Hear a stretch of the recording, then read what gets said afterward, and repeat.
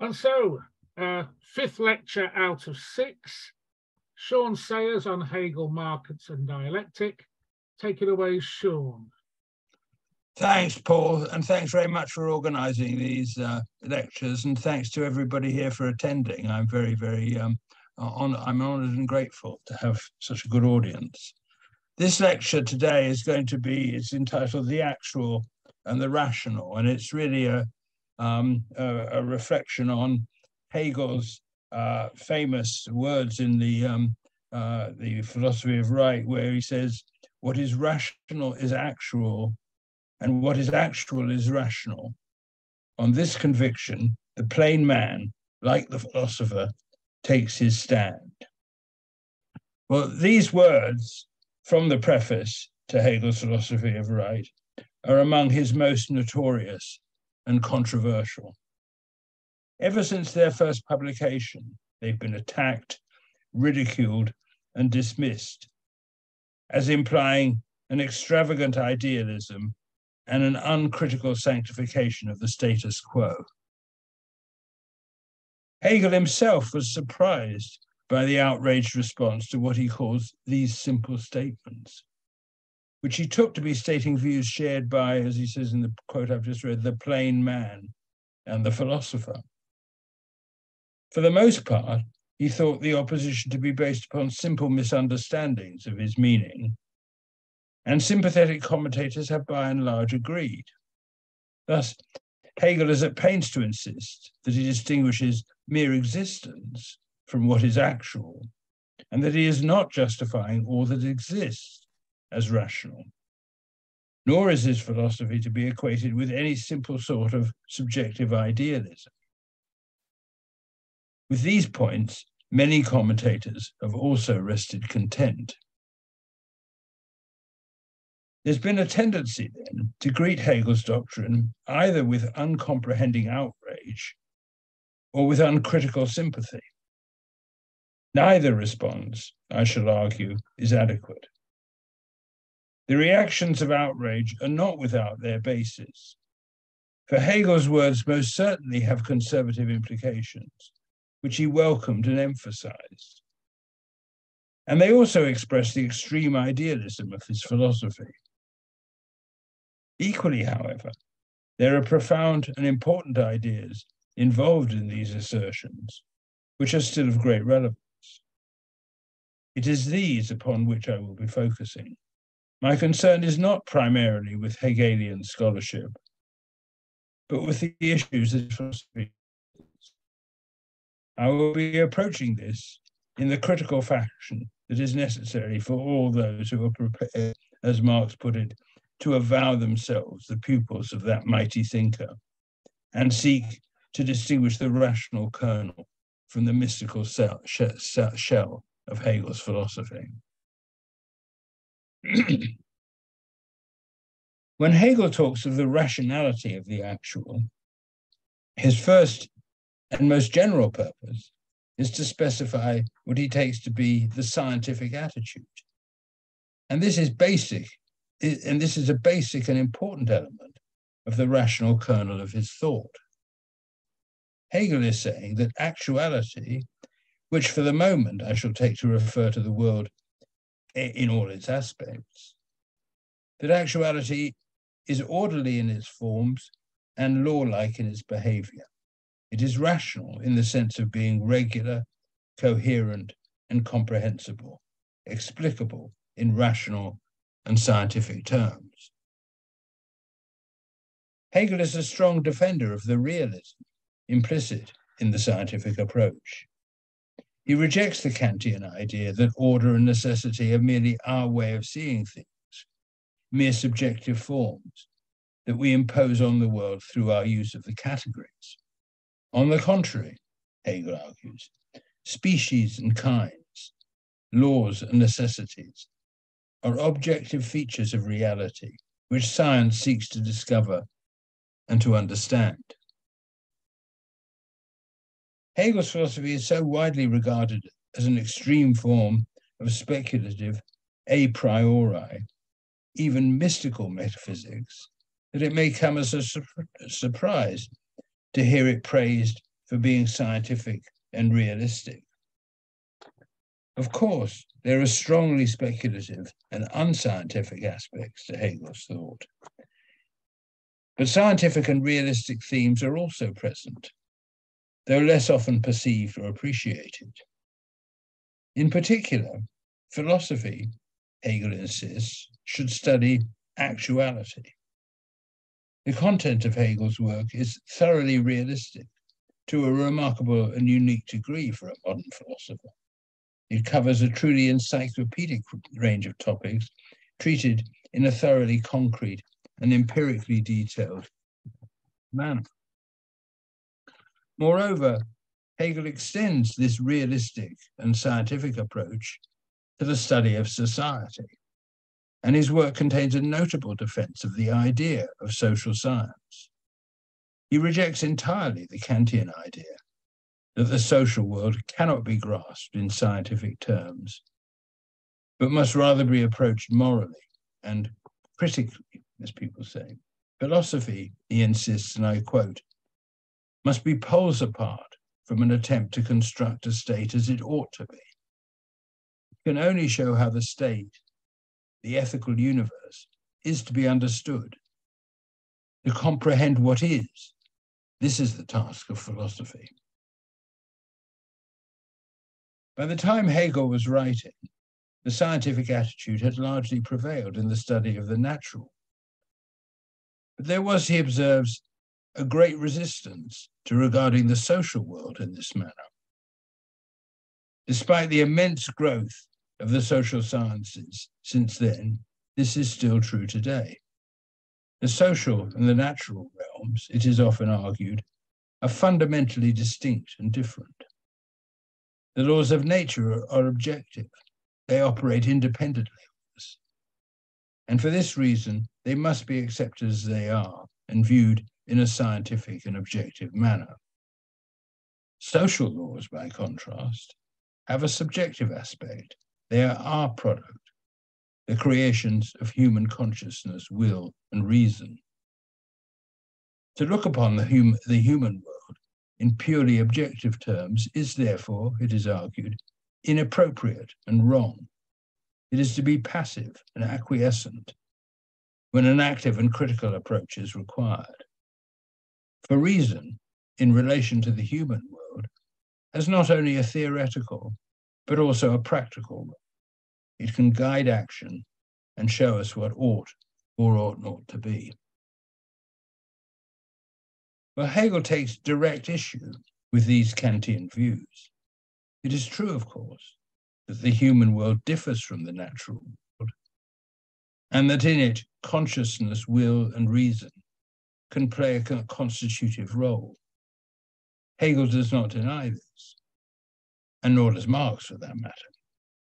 However, Hegel rejects the idea that reason is a transcendent and absolute quality which distinguishes mankind from the rest of nature. He rejects the idea of an absolute gulf and divide between these two realms. When Hegel talks of the unity of the actual and the rational, however, it is also vital to see that he is not merely reducing the actual to the rational or vice versa. The relation between these opposites is conceived as a concrete and dialectical one. And at least in the more uh, uh, rational parts of his work, Hegel is aware that the conflict, as well as the harmony of these opposites, it was Hegel's great achievement, it seems to me, to see human consciousness, will, and reason in concrete and dialectical, social, historical, and developmental terms.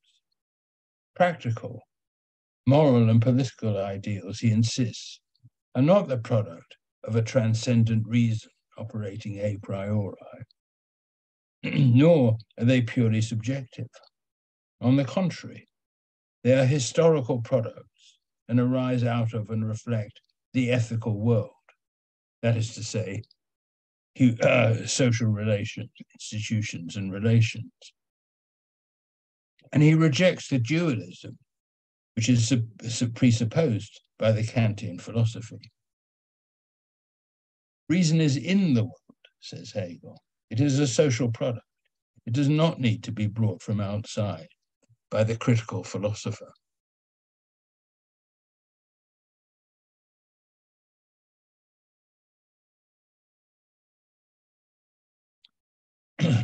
Course, this is not to say that the scientific approach is necessarily uncritical.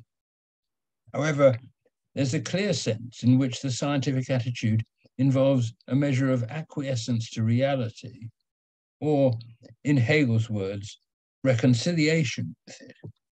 For being scientific implies that we accept objective conditions and adjust our ideals to them so that our, our views correctly reflect these conditions. um, and uh, uh, rather than imposing our ideas and ideals upon the world. This is the inherent nature of the th theoretical and scientific attitude. However, it does not at all imply a passive or acquiescent attitude to the world when it comes to practice. On the contrary, a, a scientific and true understanding of the world and of its necessities is the essential basis for effective action upon it. To be sure, will and commitment are also necessary for action, but they are not alone sufficient to ensure success. For this, the will must be guided by thought, by reason. We must understand the situation in which we act and what is and is not possible within it. Conversely, ignorance, ignorance is the recipe for idle dreaming and for the construction of sterile utopias.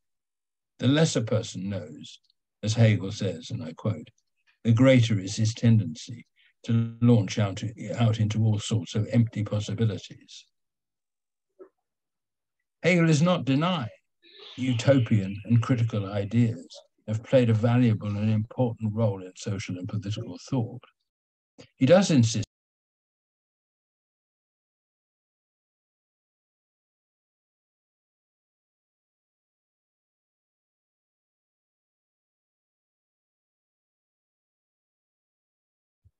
Sean. Sean, you're you're muted. You're, you're mu muted. You're muted over the last second or so. Just repeat the last two or three sentences. And can I ask everybody to keep muted, please? Yeah, but Sean has to re to unmute himself. He's still muted. Yeah, okay. That's is that better? Yeah, yeah. Just the last couple, just the last two or three sentences we missed. But if everybody else can remain muted. Okay, sorry about that. It was my fault. I put my elbow on my mouse. I'll try not to do that. Okay, resume then. Hegel is not denying that utopian and critical ideas have played a valuable and important role in social and political thought. He does insist, however, that if such ideas are to be more than mere wishful dreams, they must reflect and be disciplined by reality. For example, Hegel argues that Plato's Republic, surely one of the greatest of utopian works, is misunderstood if it is regarded simply as an ideal vision of how a society ought to be organized. The Republic is rather Plato's attempt to understand the conditions, the developments, and the problems of the society of his day. It is the attempt to grasp actuality in rational terms. Hegel says philosophy is the apprehension of the present and actual, not the creation of a beyond. Even Plato's Republic, which passes proverbially as an empty ideal, is in essence nothing but an interpretation of the nature of Greek ethical life. That's Hegel. Hegel, then, like Marx, advocates a realistic and scientific approach. And his account of society is historically concrete and dialectical. He rejects the utopian and merely critical attitude as a basis for, for political thought and action. These are important elements of the rational kernel of his notorious principle. And yet Hegel's philosophy take, taken as a whole is far from being scientific or realistic. Its detailed contents are set within a philosophical system which purports not merely to understand and explain the world in a scientific fashion, but to rationalize and justify it. It is this which constitutes the mystical shell and which gives rise to the accusations of mysticism and conservatism. These accusations, it seems to me, are quite justified. Hegel is quite explicit, at times almost brutally so, about the conservative and idealizing implications of his philosophy. the recognition of reason in the world, he says, and I quote, is the rational insight which reconciles us to the actual. This is the reconciliation which philosophy affords. Philosophy gives, this is that now me again. Philosophy gives not criticism, but what Hegel calls consolation. It teaches us to give up the restless desire to condemn and repudiate the existing order. Thus, when Hegel talks of philosophy reconciling us to the world, he means not only that we should approach the world scientifically and discipline our ideas to reality, he means that we should regard the world as rational in the sense of ideal. The world, Hegel insists, is as it ought to be. The desire to criticize and to change it is the error of youth, he says, which imagines, and I quote, that the world is utterly sunk in wickedness, and that the first thing needful is a thorough transformation. The maturer and wiser view, the view, needless to say, embodied in Hegel's philosophy, is that, and I quote, actuality is not so bad and irrational as poor, pure, poor or wrong-headed and muddle brained as would be uh, uh, reformers imagine. And I quote again, the good is radically and really achieved, Hegel says, and our dis- discontents are groundless. And again, another quote, all unsatisfied ende- endeavor ceases when we recognize that the final purpose of the world is accomplished no less than ever accomplishing itself. For Hegel, then, not only is, the, is actuality rational, but rationality is actual in the sense that it is actualizing itself in the world. Quote, the actual world is as it ought to be. The truly good, the universal divine reason is the power capable of actualizing itself. God governs the world. The actual working out of his government, the carrying out of his plan, is the history of the world. World history, then, for Hegel, is governed by divine providence. It is the realization of God's will on earth. The study of history and politics must take the form, then, of a justification of God, of a theodicy. There is no place here for criticism, no need for it. For evil, from this perspective, is a mere subordinate and vanishing moment. And our reconciliation with it is achieved, quote, through the recognition of the positive elements in which that negative element disappears as something subordinate and vanquished. The true ultimate, rational and divine purpose has been actualized in the world, and evil cannot ultimately prevail against it. That's Hegel.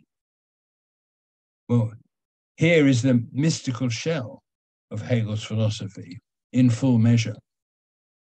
That aspect of it, which seeks, in Marx's words, to transfigure and glorify the existing state of things. It leads to the grossly idealized and almost unrecognizable account of social life, which Hegel gives in his political philosophy. The state is pictured as inherently rational, as the realization of freedom. Marriage as a harmonious union based on love, and so forth. It is tempting to try and disregard these themes as loose exaggeration and rhetoric on Hegel's part. Unfortunately, this is not possible. These views are, on the contrary, an essential ingredient of his philosophy and of his idealism, constantly reiterated as the ultimate and deepest significance of his thought. As such, they have been taken up and repeated ever since by old, as it were, and conservatively minded Hegelians, who have wanted to legitimate and rationalize the status quo. Uh, old Hegelians, you know, from Bradley's time, uh, F.H. Bradley's time, uh, to uh, Roger Scruton uh, more recently, sort of argue this way. Now, it's a common view that the conservative and idealizing aspect of Hegel's thought is an inevitable and inescapable outcome of his identification of the actual and the rational. But this is not so. As Hegel himself insisted, and as the young Hegelians were quick to point out, the unity of actuality and reason for Hegel is a dialectical one, which includes within it conflict as well as harmony. Although Hegel often tends to take the side of conservatism and reconciliation in his later writings, his philosophy is more complex, more confused and more and contradictory, and also more profound and interesting in its practical implications than this suggests.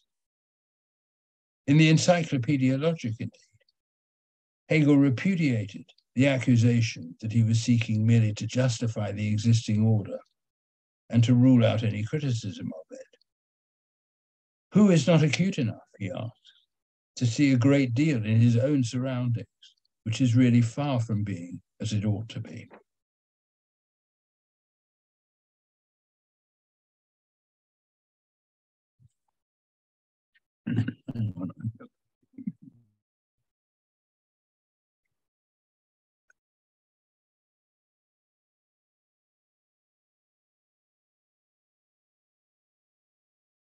The claim then that the actual is rational does not, he insists, mean that whatever exists is rational.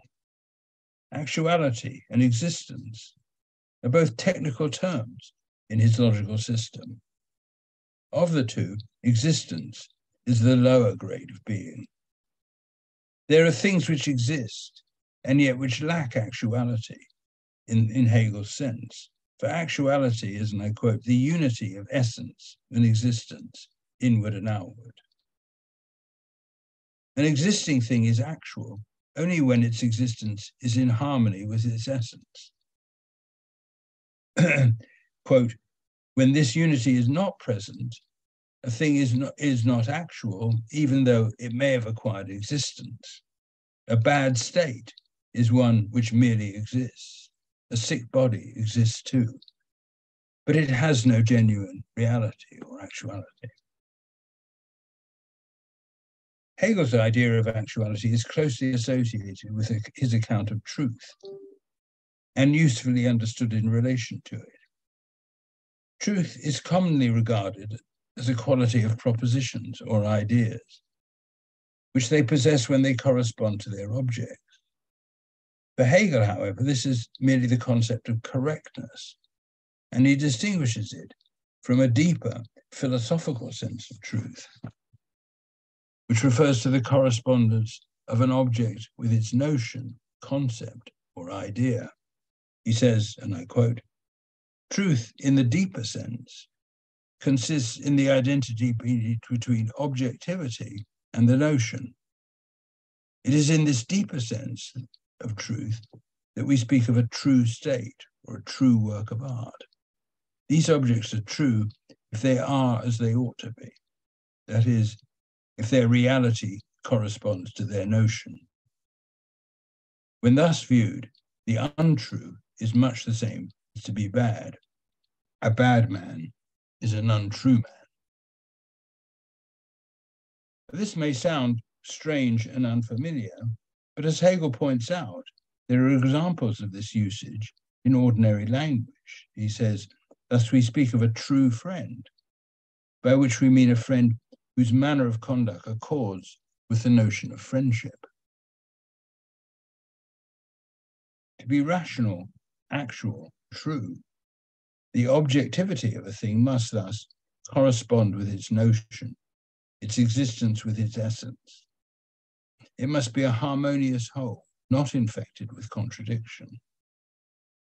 To be untrue, not fully actual, not fully rational, on the other hand, means, I quote, to be bad, self discordant. But the bad, to repeat the crucial point, although it lacks actuality, may nonetheless exist. This distinction between actuality and existence puts the Hegelian view that the actual is rational in an entirely new light. Indeed, if, actual, uh, if actuality is taken to refer only to fully rational existence, then Hegel's principle that the actual, the actual is rational becomes true by definition. And this is no doubt part of the reason why Hegel and his followers have tended to brush aside objections to this principle. Once we grasp what Hegel means by actuality, we cannot but agree that the actual is rational. But this is simply a tautology. The problem, however, has only been shifted elsewhere here. Although the actual may be rational, by no, no means all that exists is rational and actual. The question remains of how far this tautological notion of rational actuality is applicable to the existing world around us. On this crucial issue, it seems to me Hegel is ambiguous and unclear. In his political and historical writings, as we have seen, Hegel often tends to suggest that the state and society, as they have developed, and as they in fact exist, are rational and actual. This is the basis of Hegel's conservatism. And it is in these terms that he attacks would be critics of society. He says, reason is not so impotent as to bring about only the ideal, the ought, which supposedly exists in some unknown region beyond reality, or, as is more likely, only as a particular idea in the heads of a few individuals. End quote. In more metaphysical and logical contexts, however, we are told that nothing finite is fully actual or rational. Indeed, Hegel says that, and I quote, God alone is the thorough harmony of notion and reality. All finite things involve an untruth. They have a notion and an existence, but their existence does not meet the requirements of the notion. For this reason, they must perish. End of quote. All finite things, therefore, are contradictory and to that extent irrational. They can be criticized for their untruth. Indeed, because of their contradictoriness, their irrationality and untruth, all finite things are destined to criticize themselves in a practical fashion. They are ultimately doomed to change and to pass away. Quote, finite things are changeable and transient. Existence is associated with them for a season only. The association is neither eternal nor inseparable. Well, this is the dialectical side of Hegel's thought. And it was seized upon by the young Hegelians, who saw in it the seeds of a radical and critical philosophy. For if nothing but God is fully actual and fully rational, if everything finite is animated by contradiction and in the process of change, then what in fact then what in fact exists is never ideal. One must equally say then what is actual is irrational. And so for the young Hegelians, the realization of reason is not an established fact, but rather a goal and a task the world as it is. The existing state of things must be criticized and transformed. Reason must be realized. It must be made actual. Engels, in his useful discussion of these ideas, credits Heine, the poet Heinrich Heine, with being among the first to appreciate the critical and revolutionary significance of Hegel's philosophy. Heine expresses this charmingly in an imaginary dialogue that he writes between himself and Hegel, who goes under the title in this dialogue of The King of Philosophy. Heine writes, Once, when I put out when I was put out by the saying, all that exists is rational, he smiled in a peculiar way and observed it could also mean all that is rational must exist. He looked around hastily, but soon calmed down, for only Heinrich Beer heard what he said. Well, I do not know who Heinrich Beer is, but it is clear that Heine's meaning is that Hegel was himself aware of the ambiguity and the possible revolutionary significance of his philosophy, but that he was afraid to speak it. I don't know whether this is a correct account of Hegel's intentions, and that is unimportant here. What is undoubted is that Hegel's philosophy contains strands and themes which, whether he intended them or not, have a critical and revolutionary significance. It is these that were emphasized and developed by the young Hegelians and by the young Marx. Indeed, one of the clearest statements of this critical interpretation of the Hegelian philosophy is given by Marx uh, very early on in a letter to Arnold Ruge of September 1843. Marx writes, Reason has always existed, but not always in a rational form. The critic can therefore take his cue from every existing form of theoretical and practical consciousness and from this ideal and final goal, implicit in the actual forms of existing reality, he can deduce a true reality. Now, as far as real life is concerned, it is precisely the political state which contains the postulates of reason in all its modern forms, in all its, even where it has not been the conscious repository of socialist requirement. But it does not stop there. It consistently assumes that reason has been realized and just as consistently becomes embroiled at every point in a conflict between its ideal vocation and its actually existing premises. Well, that's Marx. This is pure young Hegelianism. In the existing political state, Marx is saying, we can discern a contradiction between its ideal vocation and its actual existing form. There is a discrepancy between its notion and its objective existence. To that extent, the state is irrational and untrue and may be criticized as such. Moreover, such criticism, the young Hegelians insisted, does not involve bringing either Kantian a, uh, Kantian a priori or merely subjective ideals and values to bear on reality from outside. The ideals according to which the existing state is to be criticized, on the contrary, are supposed in Hegelian fashion to be the notion of the state, something which is intrinsic to the state, its very essence. Again, Marx puts it memorably. He says, This does not mean that we shall confront the world with new doctrinaire principles and proclaim, here is the truth, on your knees before it. It means that we shall develop for the world new principles from the existing principles of the world.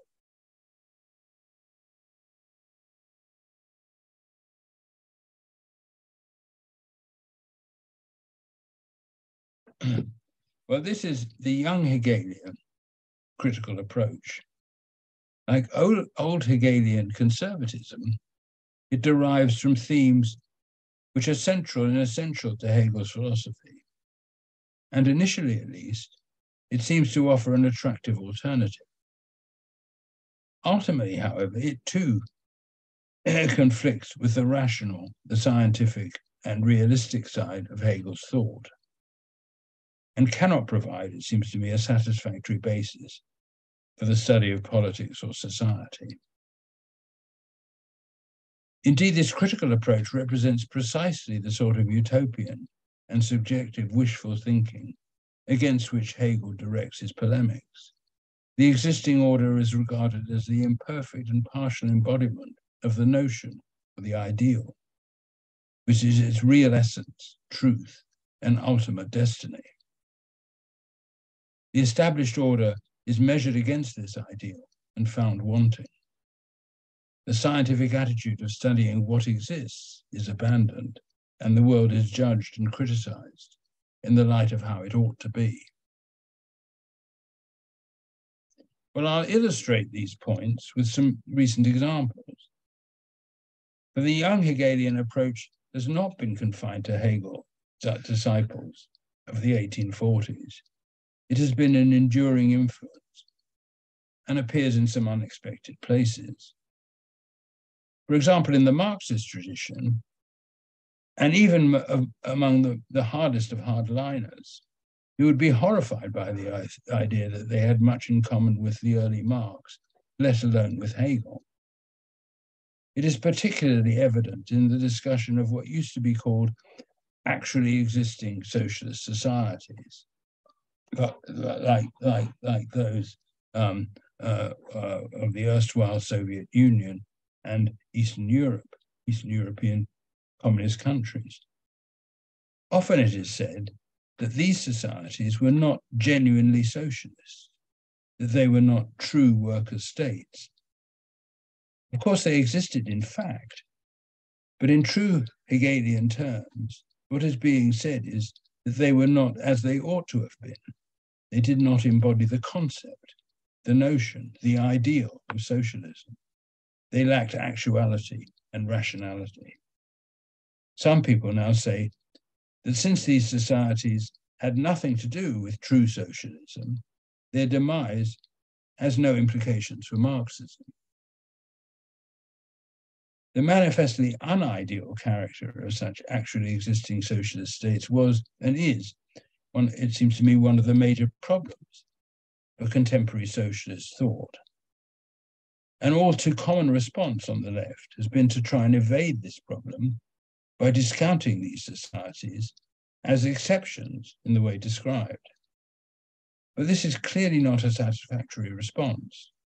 It involves abandoning altogether the scientific approach to history and adopting instead a purely moral one.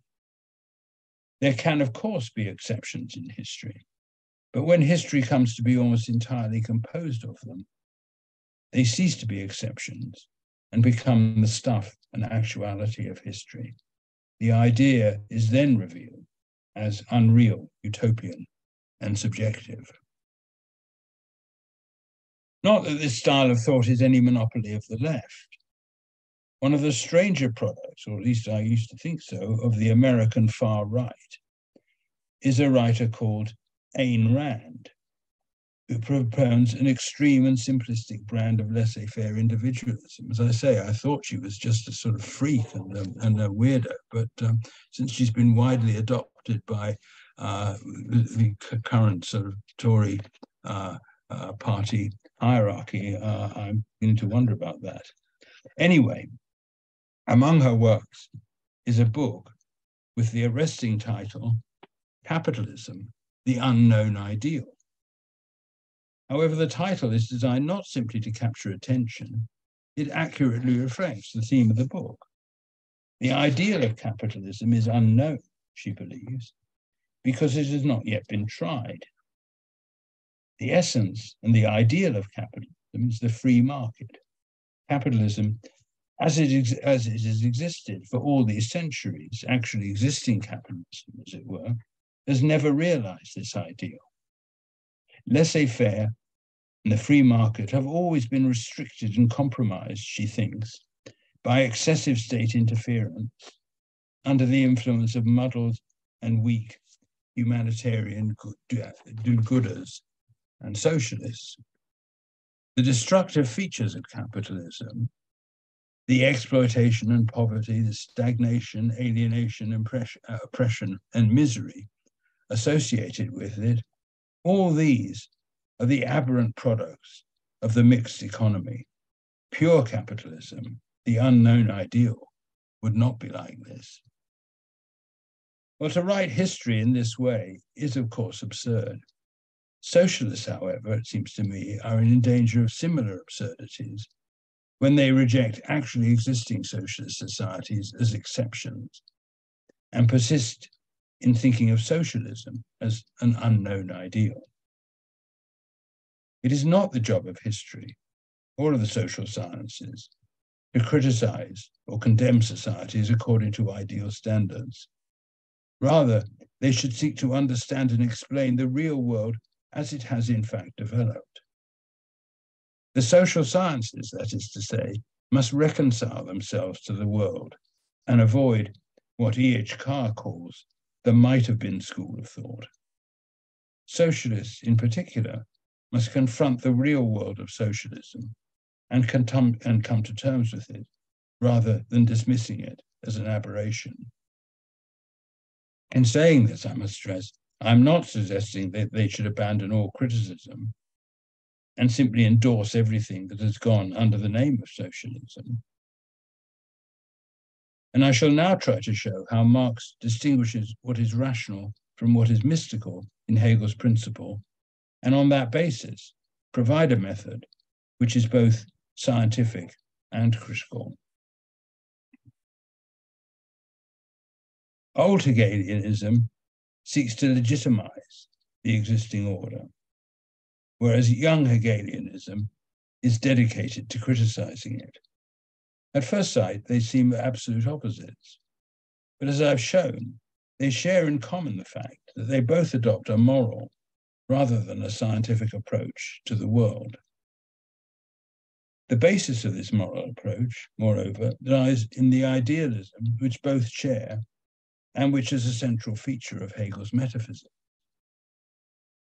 As we've seen, Hegel's philosophy involves an extravagant form of idealism the actual is rational, he thought, because reason, the idea, the ideal, is an active principle expressing and realizing itself in the world.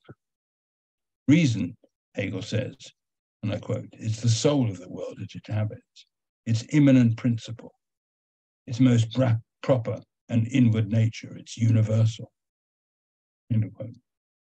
Moreover, all this is given a theological interpretation so that the objective world becomes God's creation and history becomes a theodicy. It is this idealism which gives rise to that paradoxically inverted order so characteristic of Hegel's philosophy. For Hegel, for Hegel, it is reason, the idea, the ideal that comes first, and which then specifies, concretizes, and realizes itself in its particulars as Seth says, and I quote, I think I may have quoted him on, to this effect before.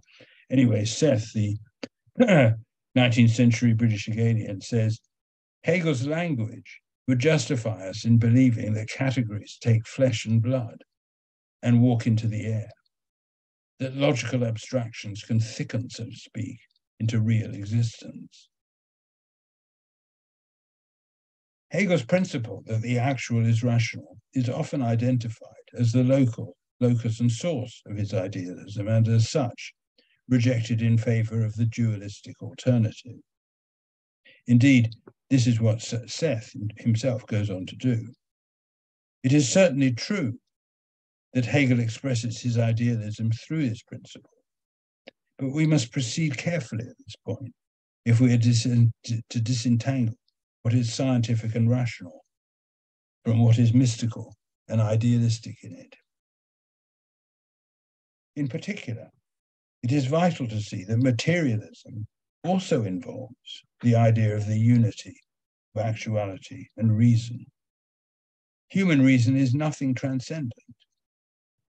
It is a product of natural and social evolution. For this reason, Marx does not reject or discard Hegel's principle. Rather, as he says, he turns it on his feet, on its feet. To quote well-known words, he says, for Hegel, the life process of the human brain, that is the process of thinking, thinking, thinking. Which, Shall I read that again? I've got echoes in. For Hegel, the life process of the human brain, that is, the process of thinking, which under the name of the idea, he even transforms into an independent subject, is the demiurgos, the creator, the real world. And the real world is only the external phenomenal form of the idea. For me, on the contrary, the idea is nothing else than the material world reflected by the human brain and transformed into forms of thought. For Marx, that is to say, nature and society are not, as with Hegel, the products of reason. On the contrary, reason, ideas and ideals, are the outcome and creations of natural and historical development. And I quote, Mark, well, from Marx and Engels again the phantoms formed in the human brain are sublimates of their material life process. Morality, religion, metaphysics, all the rest of ideology and their corresponding forms of consciousness, thus no longer retain the semblance of independence. Ideas and ideas, ideas and ideals have no autonomy from social life. They are the subjective aspect of actual and existing objective social relations. They are social through and through.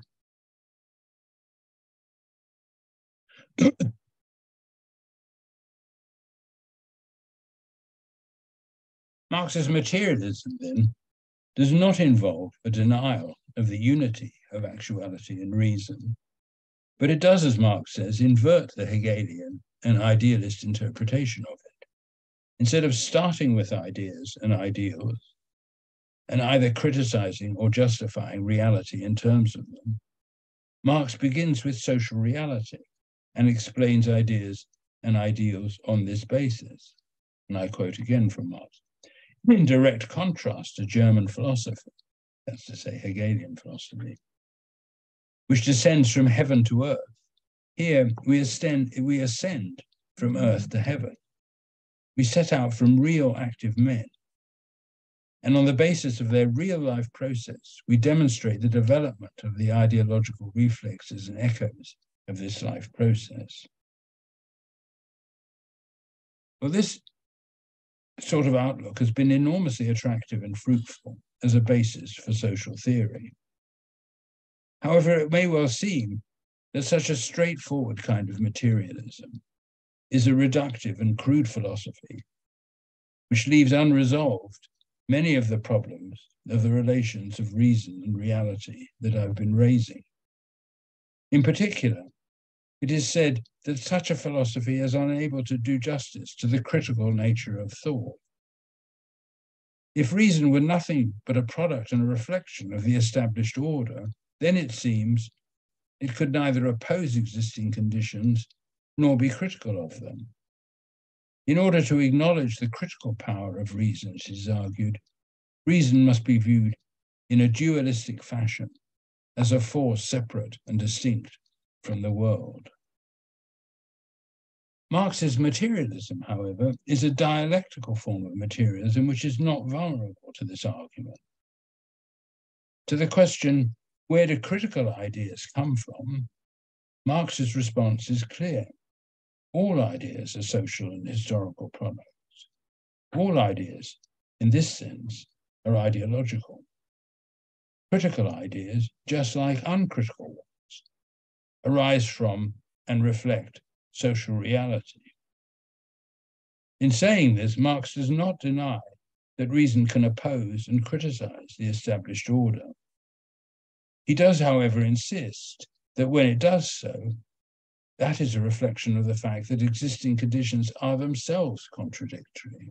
He says, and I quote, if theory, theology, philosophy, ethics, and so forth come into contradiction with existing relations, this can only occur because existing social relations have come into contract, contradiction with existing forces of production.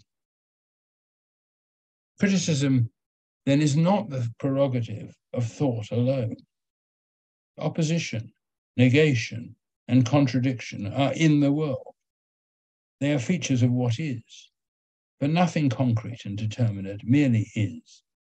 Nothing is simply and solely positive. Negation and opposition are essentially involved in all things. This is the first lesson of, his, of Hegel's uh, logic, as I've stressed uh, throughout these lectures, and the most vital principle of dialectic in all its forms. Mere positive being is an abstract and empty category. All concrete things are a unity of being and nothing, positive and negative aspects.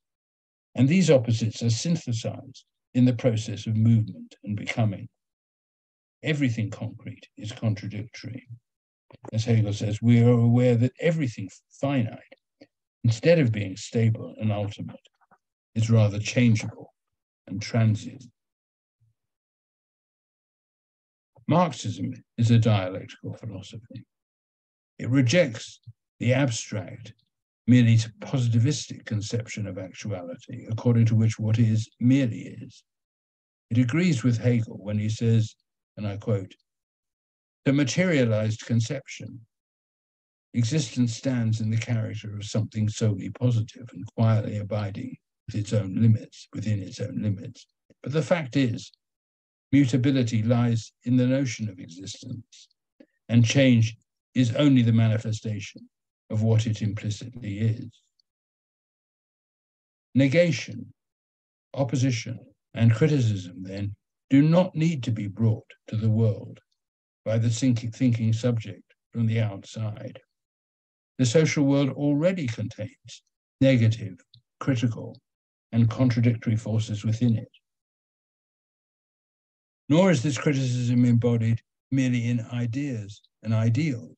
It exists, first of all, in reality, and only later is it apprehended by consciousness and reflected in thought. Thus, Marx insists, in a passage that I've quoted, I think, several times before, he insists that communism for us is not a state of affairs, which is to be established, an ideal to which re- reality will have to adjust itself. We call communism the real movement, which abolishes the present state of things. Marx then essentially agrees with Hegel, with Hegel's view that, and I quote, dialectic is not an activity of subjective thinking applied to some matter externally, but is rather the matter's own soul, putting forth its branches and fruit organically. This development of the idea is the proper activity of its rationality. And thinking, as something subjective, merely looks on at it without, for its part, adding to it any ingredient of its own. To consider a thing rationally means not to bring reason to bear on it from outside, and so to tamper with it, but to find that the object is rational on its own account. What Hegel is here describing, albeit in the alien and metaphysical language, which is so much his own, is nothing other than the scientific method. This approach undoubtedly involves a measure of reconciliation to reality, as we have seen. It involves, as Hegel says, not tampering with the world, not imposing values and ideals upon it, not criticizing it, that's to say, but rather observing and understanding it as it is. However, in Marx's hands at least, this method by no means entails a conservative attitude or an abrogation of criticism. Marx does not set out to judge capitalism against any pre established moral values, nor to posit an ideal socialist state of the future. Rather, he attempts to understand and explain in scientific terms the workings of existing capitalist society and the forces for change that are immanent within it. In this way, by exposing, articulating, and analyzing the critical and revolutionary tendencies and forces already at work in the world, and as I've said, immanent in it. Marx provides the most powerful and effective critique of capitalism, the scientific critique. Thank you. okay, thanks very much, Sean.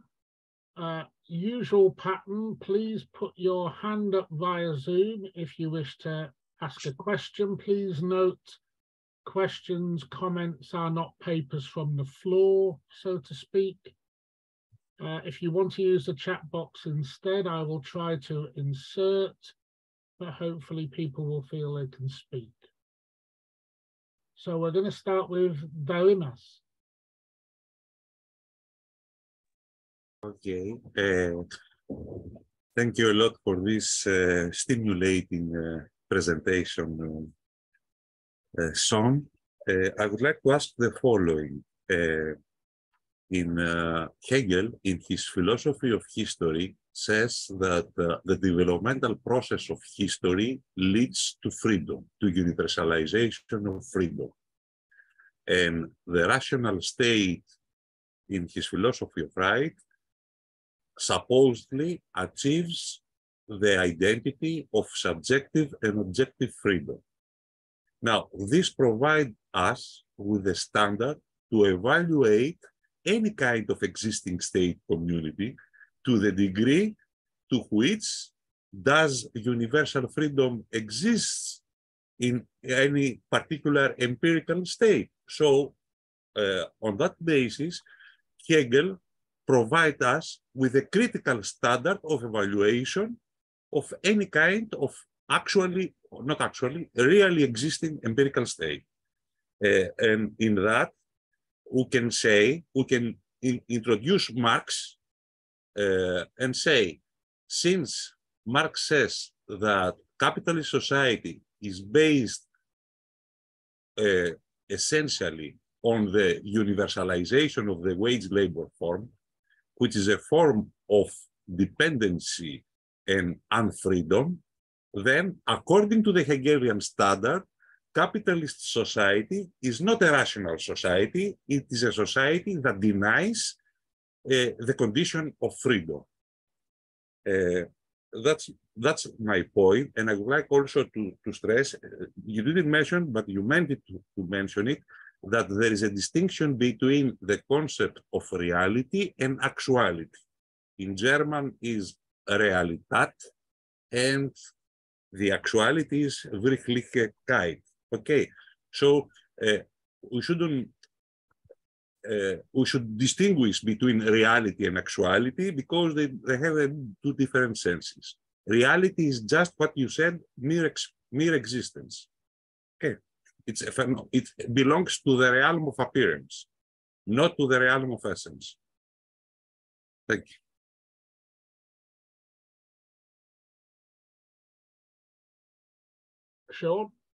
Yeah, is that?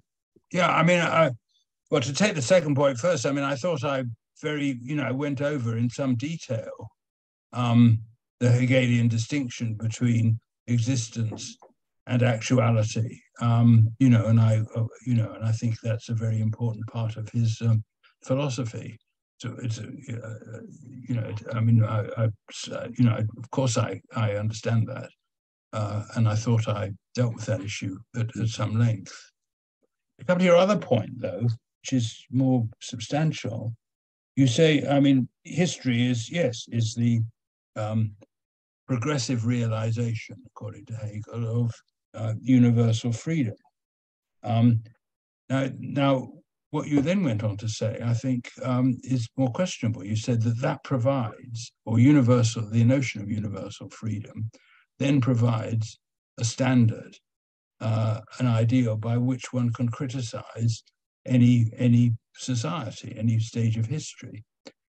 Hegel, I mean, I, I think that's more questionable. Um, I, you know, the idea that Hegel has is of a development of a of aggressive uh, realization of freedom, which starts from almost, you know, I mean, he says in the um, philosophy of history that you know it starts with a sort of de despotism uh, in the earlier societies where you know only one person is free. There's a gradual development of freedom, and it's very important, I think, to realize, and I believe that this is Marx's view too, that capitalism represents a realization of freedom, only a very partial one. I mean, it it, gets rid of the uh, the uh, barriers and and uh, ranks and, and privileges of feudal society, and in a sense makes everyone equal, uh, equal in a formal sense anyway.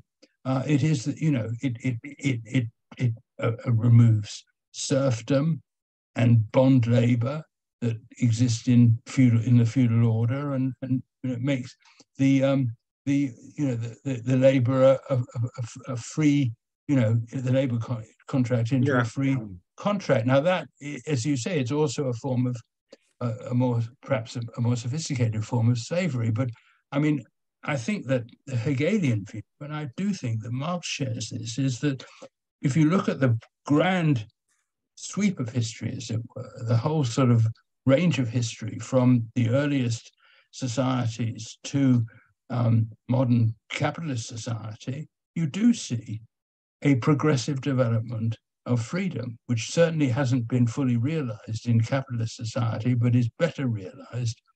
It is a progress in, in, in respect of freedom with, you know, from pre-capitalist uh, forms of society. That, I believe, is Marx's view, and that, I believe, much more importantly, is the correct view. Yes, but what I'm saying is that this also operates as a kind of critical standard vis-a-vis which you can judge, evaluate the existing state of freedom in any given society. Okay, but I mean, now the question is, I mean, in in Marx's argument, is he does he have a, a sort of ideal, if you like, of universal freedom, as you said, against which other societies are then judged and uh, and and judge according to how well they realize that ideal. That's one way of seeing the Marxist argument. The other way of seeing it, which is what I was recommending in my uh, lecture, is that we see the the the standards of of of social life, of including freedom, that we judge uh, contemporary society as immanent, as emerging out of the conflicts that exist in this society, so that you know the uh, any it's not a matter of some sort of um, uh, ultimate ideal against which all societies are measured, uh, but rather you know in uh, in in our contemporary uh, society, ideas of the absence of wage slavery, the the uh, free a sort of free association of people, and and a, so you know people being rewarded according to their uh, to their to their deserts, to their labor. Those sorts of ideas are not they're not the ultimate ideals of what a society ought to be like. They're rather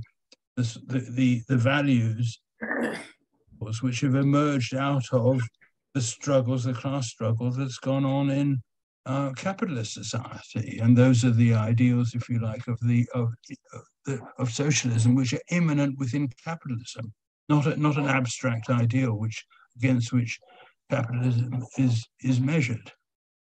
Yes, but you need a kind of ideal in order to know whether the historical process and the class struggle leads to this direction. For example, such an idea exists in the Communist Manifesto when Marx talks about the free development of each one as of every of one as a presupposition for the free development of everyone. This but I think idea. that idea is one that's immanent within. Of uh, course, uh, everything everything is immanent, but immanence is common both to Marx and Hegel. So there's, I'm, I'm, I'm not talking and about think, uh, yeah, but I say what I'm arguing. You may disagree with this, but I'm arguing that the basic principles of Marx's uh, uh, form of crit- critique and uh, and way of way of looking at society is the same as Hegel. Yes, yes, I agree. Yeah, can, I agree. Can we not have this as a continuous discussion because no, that's okay. people waiting? Uh, Ruth. Thank you again for um, for this lecture. I'm sorry I, I didn't somehow know about the earlier ones. Um, I guess what uh, I don't know if that you'll agree with this, but uh, it's it's sort of how I see it. So and I think it's worth considering that um, when we talk about inverting Hegel, um, I think there's a tendency. How do I want to put it? Hegel has a problem that Marx doesn't have because Hegel really does think. I mean, at least as I, I, I read him as an actual objective idealist, such that there really is a kind of fundamental um, reality that is ideational in some sense and not material fundamentally. And I don't think that Marx has that view. I think that Marx is is much closer to Aristotle, who say allows for um, the notion of of you know self-reflecting form, but material things are not there there's no pure matter only as an abstraction prime matter. Actual things are are not just matter. And certainly humans aren't just matter.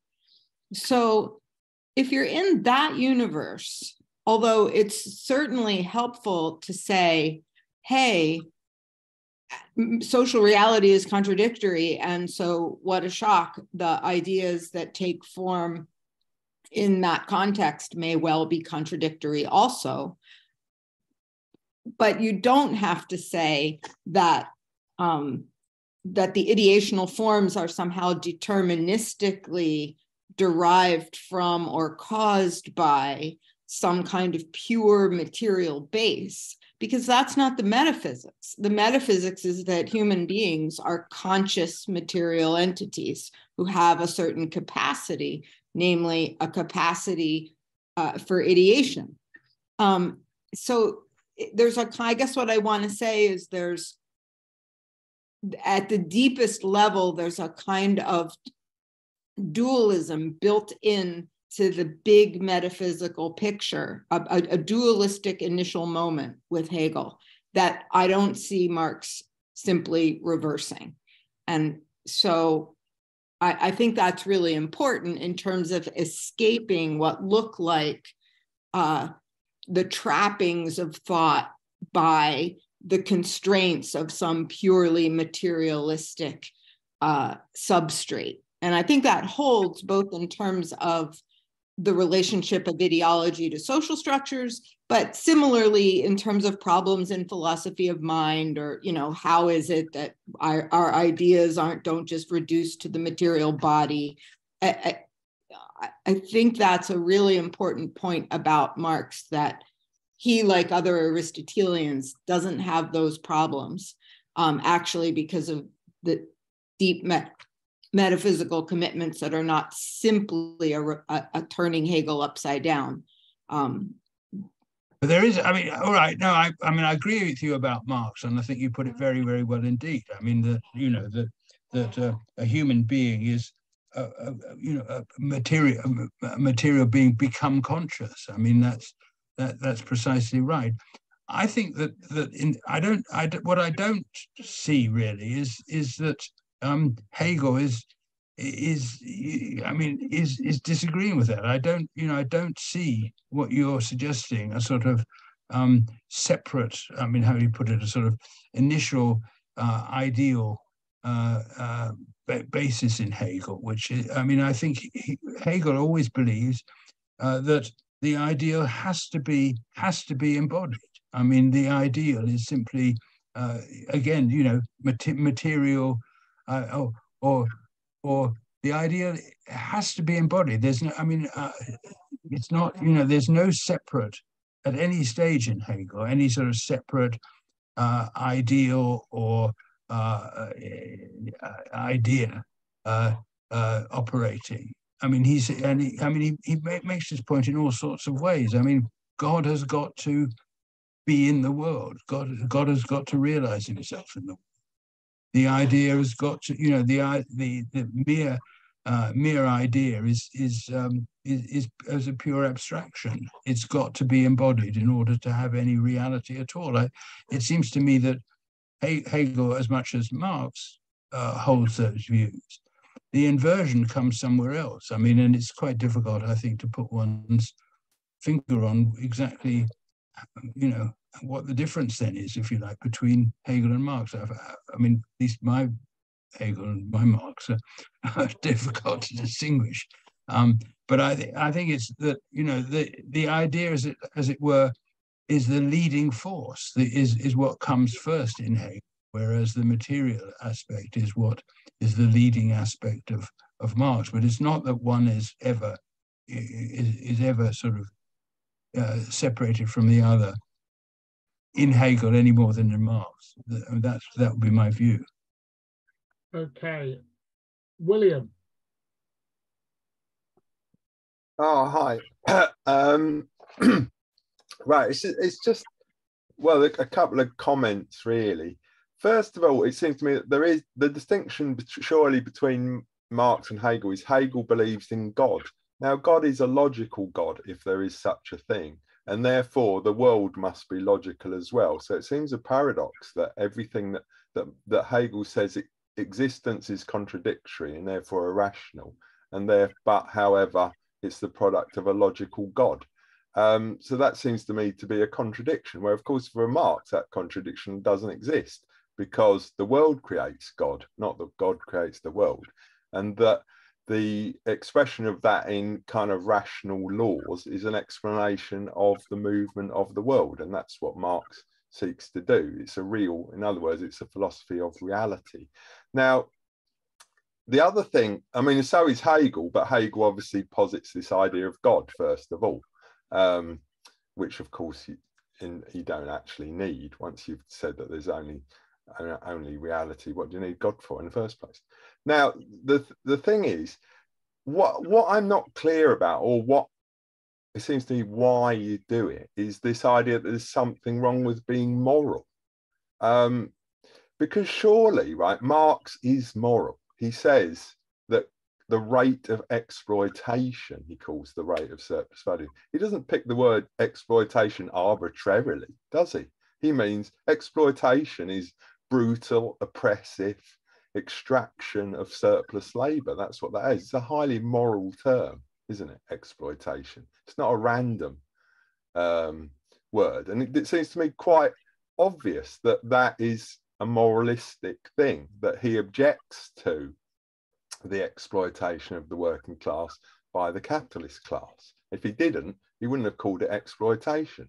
So um, that seems to me the first point. Why why should we say that that we're not interested in morals? It seems to me we are interested in morals. My second point is I think you'd have a stronger case arguing that the Soviet Union and so on were actually existing socialism if they existed. but of course they don't exist, do they? Because the people who um, defended them, in fact, uh, conspired to overthrow them which rather review, reveals that there was something rotten at the heart of those societies.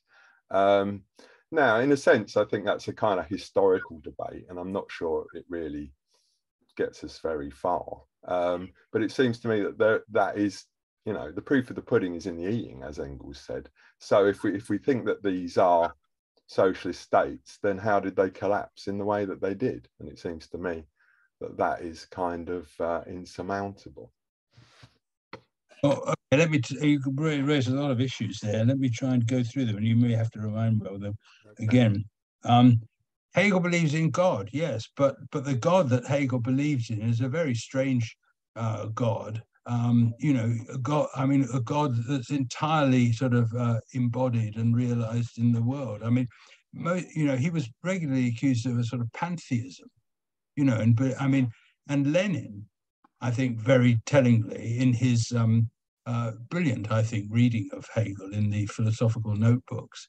I mean, Hegel says whenever, I mean, sorry, Lenin says that whenever Hegel talks about God, you can translate it says nature mm. and uh, get the same result. I mean, he's he's not, you know, his God is not this sort of transcendent figure uh, ruling the world from above. He's absolutely in the world. He's immanent. He's an immanent God, not a transcendent God. He's an embodied God.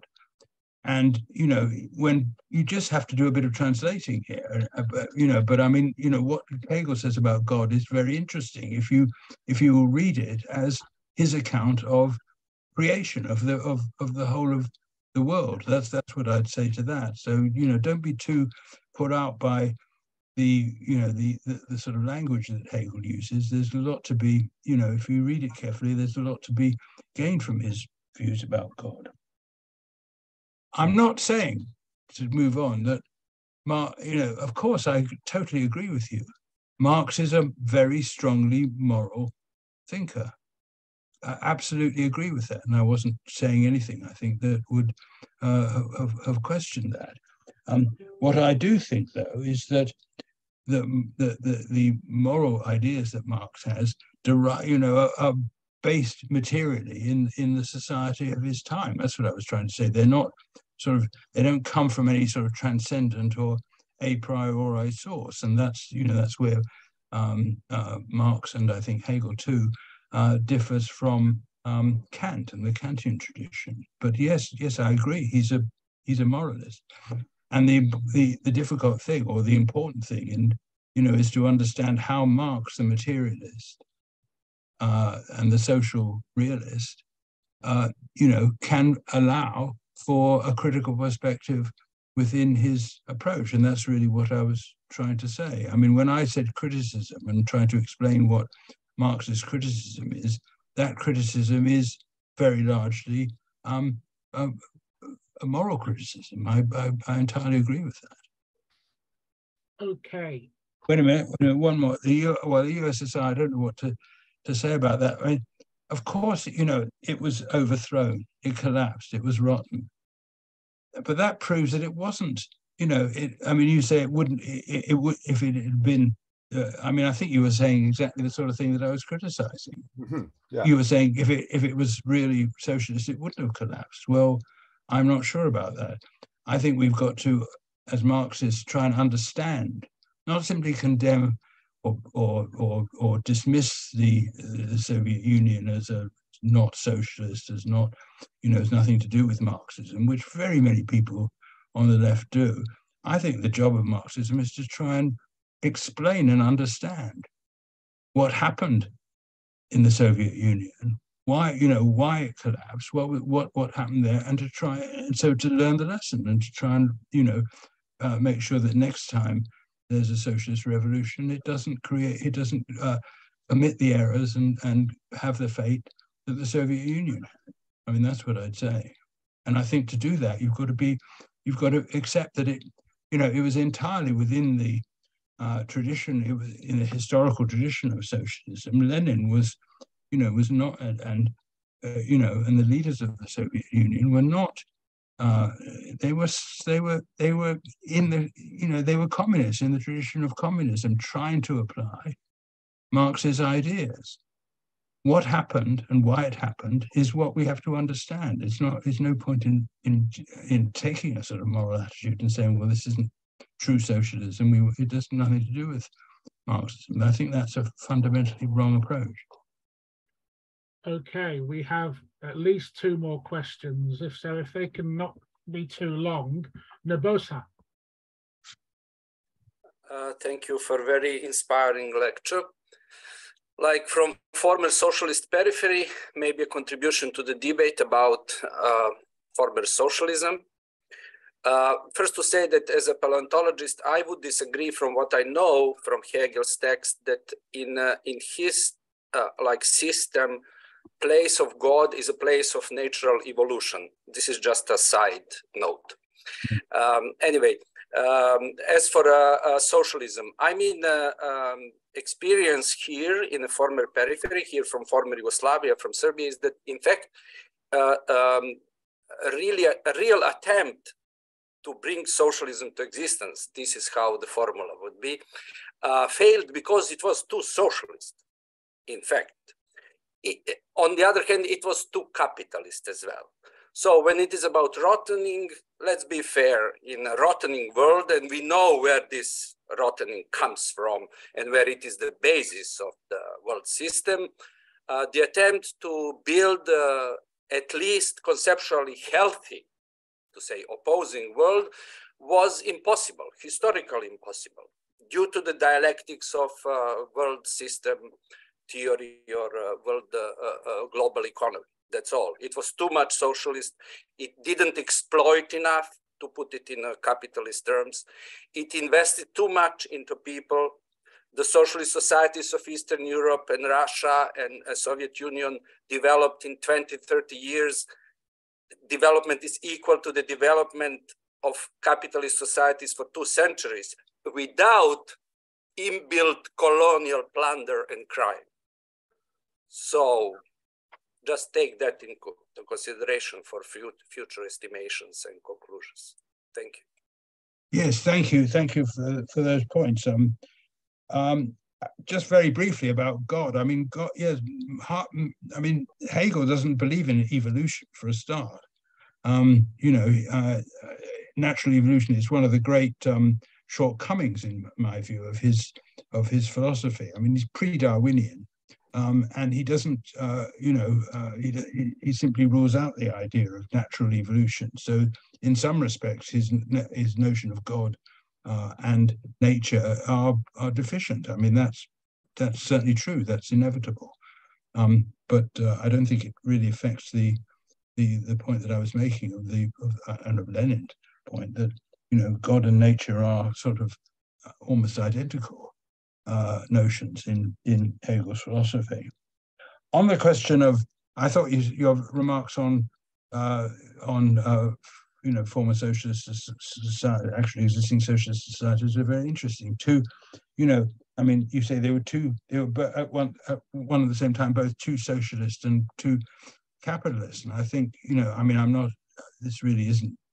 You know, I haven't studied um, this sufficiently really to give you a, what I would regard as a sort of very well-founded answer, but I think something like that. You know, you're saying it was it was impossible what they were trying to do, sort of socialism they were trying to create, given the historical conditions of the time, and that's exactly the sort of analysis which is what I'm uh, arguing for, not not simply to um, to dismiss them as not not true socialism, but rather to try and understand, you know, what what they were trying to do and why it why it failed. I mean that that and so as to learn those lessons and perhaps to be, as you suggested, more capitalistic next time. I mean that may be. I mean you know what what what would come out of that analysis. I'm not absolutely certain, but the the, the approach that you're you know that you were uh, sketching is one that I would very much um,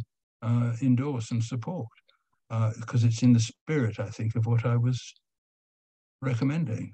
A, I mean, I don't the term scientific is sort of rather heavy and overused, but an objective, an attempt to understand what has happened uh, and why it happened, rather than simply criticizing and condemning uh, what happened as not proper socialism. I mean, that, that that's what's necessary. That's, I think, what you were doing. Okay, Rob. Uh, well, I, I agree with so much of, of what you said, Sean, but not, I'm afraid, on the Soviet Union, and in particular, that all those who dismiss uh, the Stalinist Soviet Union and his successors as being moralistic in their attitude towards it rather than being scientific. I just think that's a little bit unfair to those of us who take the view that Marx uh, theorized that the fundamental contradiction, or a fundamental contradiction, was between the proletariat and the ruling class, that uh, the transition from capitalism had to be on the basis of a proletarian revolution in which the working class takes power uh, through its own state. And if you have a state in which the working class does not exercise power, then we have a problem about whether that constitutes some kind of Marxist state, whatever they call themselves. It's just, so I'm not arguing that you should agree with me. I'm sure you don't. It's rather that I don't, I think it's too easy to dismiss those of us who do have a different analysis of the Soviet Union post Stalin uh, as moralistic rather than scientific in our analysis. Maybe. I mean, I, you know, I, I have to see exactly what um, you're. I mean, I'm not necessarily criticizing the views that you've just uh, outlined or your views. I mean, but you know, I think there there was a very great tendency when the Soviet Union collapsed, um, and even before, to say to say simply, this is not so. You know, this is not a worker state. This was not socialism. Therefore, we don't, you know, it has no implications for Marxism or for the history of the uh, socialist movement or the communist movement. And I think that's a disastrous attitude to, to have. It's just like Ayn Rand saying, you know, capitalism has never existed. I mean, that's it's just as ridiculous. Edward. Uh, well, I'm not sure about that, Sean. I mean, Mrs. Mandelstam was not an Ayn Rand, but she said that the Soviet Union was the one state which had. Uh, so you vanished, Edward. But um, what I'd like to do. Sorry, is, can you just repeat that point because it it black it, it sort of. Yeah, yeah. Um, it's not just the Ayn Rands of this world. I mean, Mrs. Mandelstam in her memoirs, and and she'd seen a lot of suffering She'd seen her, own, her own husband disappear into the gulag. She'd seen the fate of Akhmatova. She said that it was the one state, Russia was the one state in which the, the government had overcome the workers. At least in the other states, the workers were still struggling, but the Soviet Union really, you know, ended. The so, I mean, that's Edward. That's you know, I mean, so what? I mean, I would say to that. I mean, I'm not disputing any of that, and that's possibly one uh, explanation. One of what you. happened in the why, Soviet why Union. Happened, why the Soviet Union? I, I agree with you there that we have to have a. But what I'd like to start from, I don't like phrases like the sweep of history. I would start from Nietzsche's second meditation on history.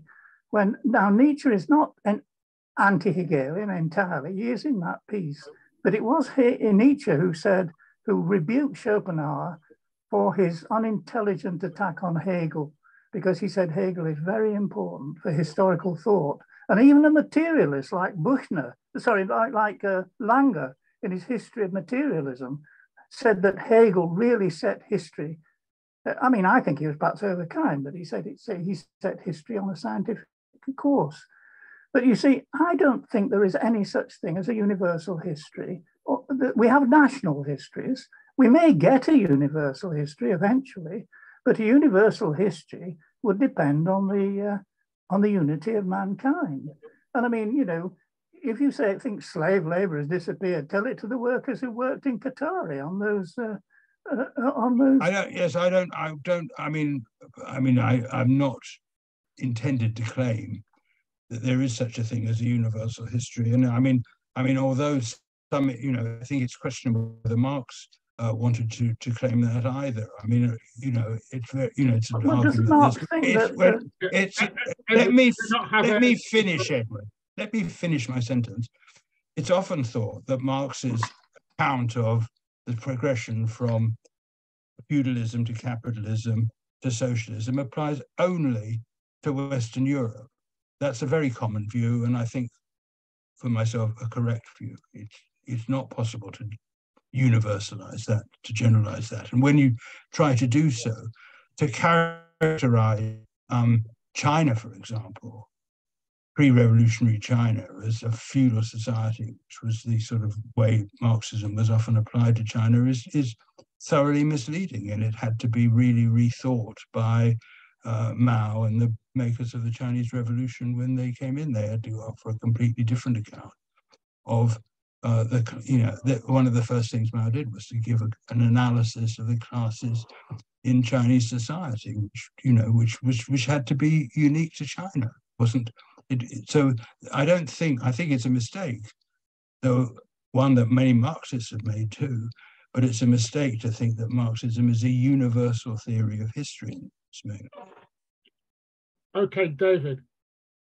Yeah, I mean, firstly, I I you know, want to thank Sean Sayers for, you know, holding these lectures and unlocking these massively powerful ideas. I mean, I every lecture you've prefaced your comments by wondering why people are, you know, that these are boring, not or at least on the surface, these are un, it may appear to be uninteresting, but these are hugely powerful ideas. But look, I want to make a point here about abstract identity or what Marx called dumb generality.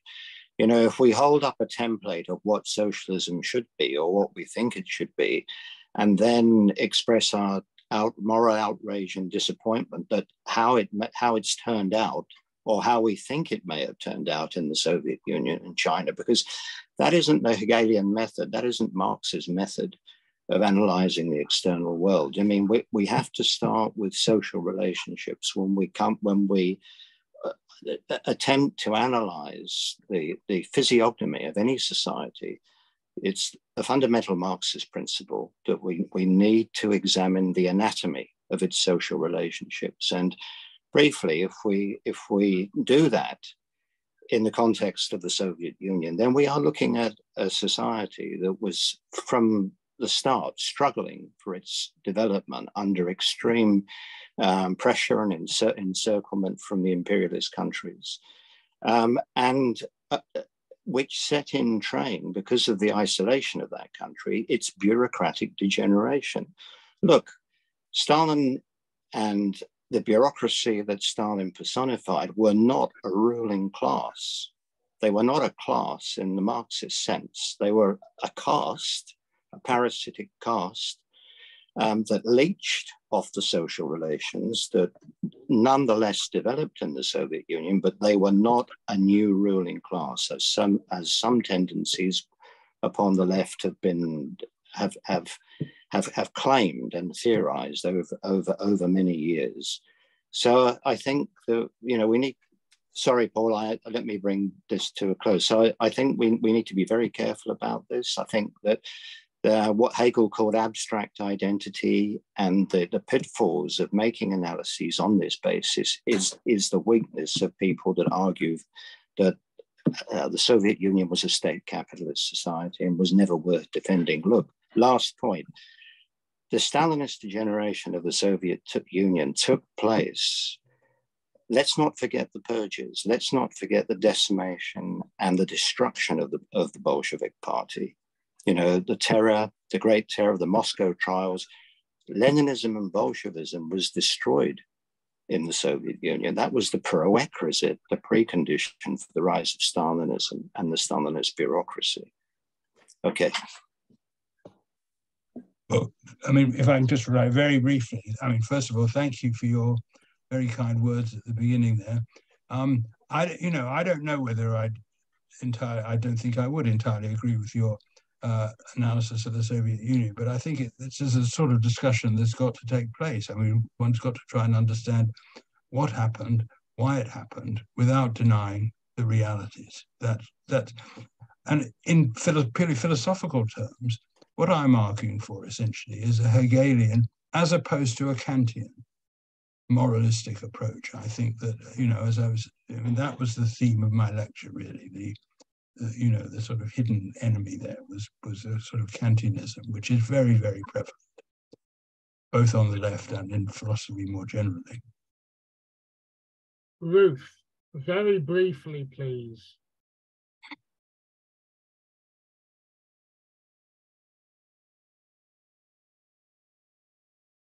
Ruth? You're, you're muted. Ruth. Sorry. I said I won't weigh in on the former Soviet Union, um, though it's a time warp to be in the middle of an argument about it. Um, or on the Marx and morality, though, it's something I've written about. But I, I wanted to just come back um, to this, to the ostensible problem of how if Marx is right, how do we have critical thought in any given context?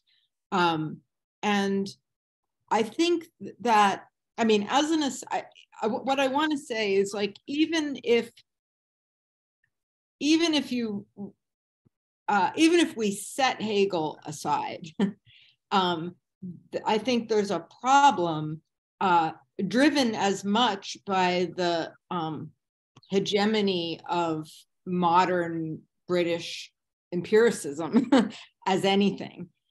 There's a there's a problem of assuming that what Marx Marx and Marxists think as a matter of metaphysics is that there's some kind of purely material phenomenon which then somehow deterministically or not, gives rise to ideational phenomena. And what I want to say is that uh, you might read Hegel as thinking not just God is nature, but nature is God. and therefore, there's a kind of pure ideational moment in the metaphysics. But even if you don't, and you say Hegel's totally integrated, you still get the problem that when it's translated into the Marxist register, the default, I, th- I believe, is to that we've now got a problem. How is thought going to escape the the deterministic or even not deterministic um, pure materiality? And what I want to say is that um, a perfectly Marx friendly neo Aristotelian metaphysics, which I think Marx himself holds to actually when he's not talking about deformed contexts like capitalism, makes that problem go away. Right? Whether it's at the level of the individual, we don't have a physical body that somehow we have to explain mental properties. How does that happen? We don't have purely physical social reality that constrains our thoughts and how do we then have ones that are different from the shape of the society the presumptive metaphysics is an integrated uh, materialist it's materialist but it's integrated in a way that what we have are relationships composed of but exceeding uh,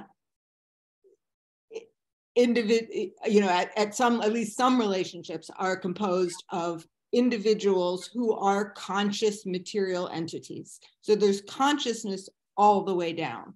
I just think that I, I totally, I, I think I even use that phrase in my my next lecture is entirely about this, right. and I completely agree with you. yeah, and I'm not so much uh, talking to um, you. But I just dis, I what I disagree with you about is you're thinking that Hegel isn't isn't on the same page here it's fine if he is. It's more a general point to Marxists who that who yeah. that if you read Hegel that way, that's fine. But then that means that when you invert Hegel, whatever that's going to mean, what you're not doing is saying now we have matter and somehow thought comes out of it. I completely agree with that, and I hope that you you'll come to my next lecture and see whether you agree with, because uh, I really am ad addressing these issues next next. On. Okay,